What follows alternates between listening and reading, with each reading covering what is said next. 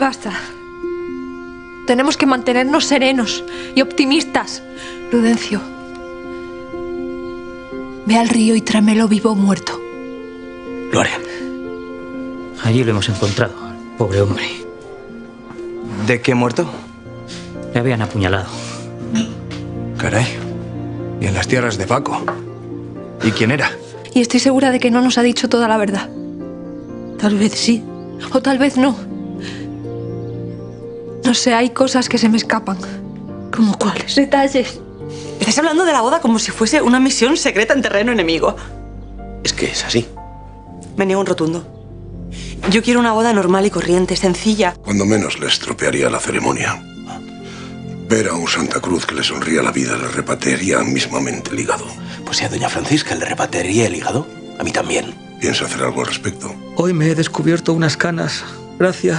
Mi Ah. pelo empieza a clarear como la nieve. Disculpe, padre, pero verá, es que su barba mm, ya hacía tiempo que escarchaba. ¿Cómo que, que te parece bien? Pero es que no le estás escuchando. He de confesarte que desde que le he oído decir que nos íbamos a hacer de oro, ya no he escuchado nada más. Estoy recibiendo unos anónimos. Anónimos con las amenazas más horribles que te puedas imaginar. Pagarás por tus pecados, ramera. Arderás en el infierno. La ira del cielo caerá sobre ti y sobre los tuyos. Estamos perdidos.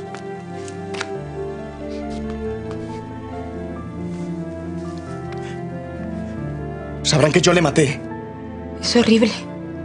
Ahora ya entiendes por qué lo pasa tan mal. Si podemos hacer algo por vosotros, ya hacéis suficiente siendo tan buenos amigos, Marcela.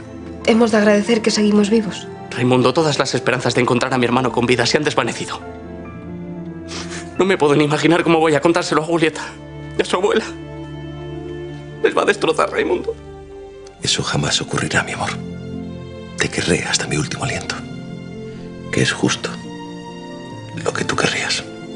Ojalá algún día usted y yo lleguemos a ser tan amigos como lo fui de ella. ¿Sabe? Llegamos a vivir juntos una temporada. Más bien la tuvo usted secuestrada. Lo peor de todo esto es que Isaac tuvo que esperar durante horas junto al cadáver.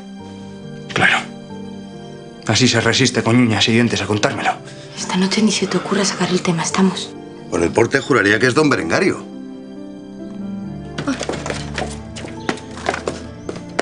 Yo a usted le mato. No, ¿Me no, oye? ¿qué mosca le ha picado, padre? ¿Qué hace? Anoche me apliqué el tinte que me vendió. Irene, yo ya viví todo esto con mi primer marido. Y sé perfectamente que lo único que pretenden es asustarme. Adela, si no se lo cuentas tú, voy a tener que hacerlo yo. Yo soy Fernando Mesía. Yo soy Fernando Mesía. Yo soy Fernando Mesía. No, que eso es absurdo. No lo es, Julieta. Si realmente quieres encontrar un culpable a la muerte de Saúl, búscalo en la casona. Tengo noticias de tus padres. ¿Les ha pasado algo malo? ¿Les han detenido, abuelo?